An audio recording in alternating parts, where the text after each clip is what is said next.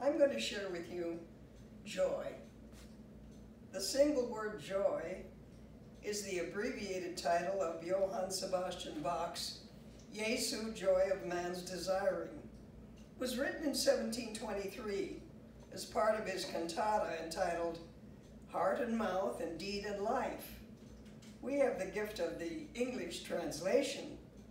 Several verses were originally written by Johann Schop in German.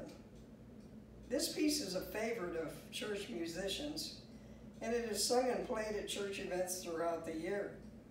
Many of us are familiar with the first verse.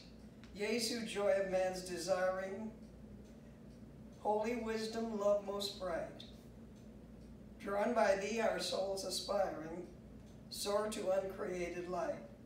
Schop wrote several more verses which expressed a close, friendly, and familiar friendship, if you will, with Jesus.